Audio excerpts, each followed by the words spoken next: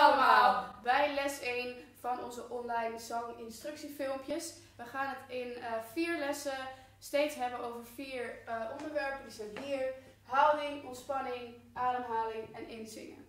Dus laten we meteen beginnen met het eerste onderdeel, dat is namelijk houding. Bij houding is het heel belangrijk tijdens het zingen dat je allebei je voeten goed in de grond zet. Zodat je niet gaat hangen op één deel van je lichaam, zoals nu voordoet. Dit is hoe je het niet moet doen. Want zo kan je gewoon niet zingen. Je En moet dan val je echt, om, zoals je net zag. zoals, dat kan ook.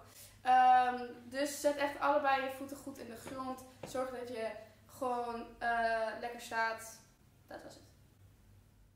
Eh, wat ook heel belangrijk is, wat ook te maken heeft met je houding, maar ook met ontspanning, is dat je niet je knieën op slot zet. Als je je knieën op slot zet, kun je gewoon niet bijzonder veel meer.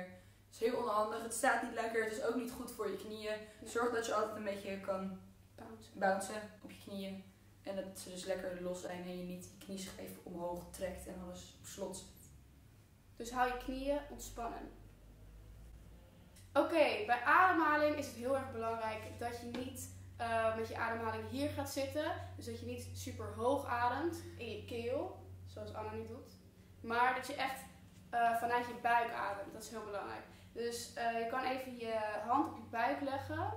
En dan, je navel. Onder je navel. En dan eh, gewoon eh, ademen. Door je neus in. En dan voel je je buik een beetje dik worden. Dat is goed. Dat is de bedoeling. En dan adem je uit door je mond. En dan voel je je buik weer intrekken. Oké, nog een keer.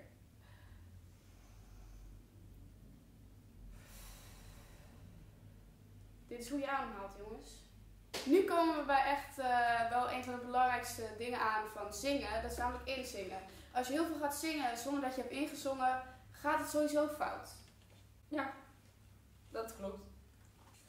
Ehm, als wij gaan inzingen beginnen we eigenlijk altijd met een oefening waarmee je stembanden ehm, ja, ook een beetje ontspant, net als de rest van je lichaam. En het is vooral een hele belangrijke oefening als je verkouden bent, zoals ik nu. En als je heel veel slijm hebt, Zoals zij. zoals ik nu. Eh, dus ik ga het even doen ook. Eh, wat het is, het, het is eigenlijk heel makkelijk, maar het ziet er wel een beetje gek uit. Je gaat gewoon briesen.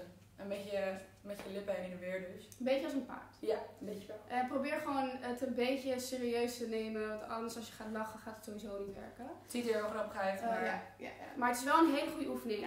Dus probeer het gewoon lekker mee te doen. We beginnen hier.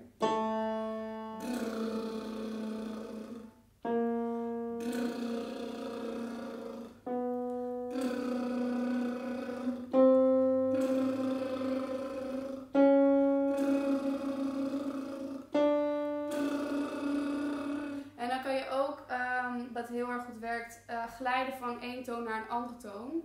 Ehm, dat gaan we nu ook even doen.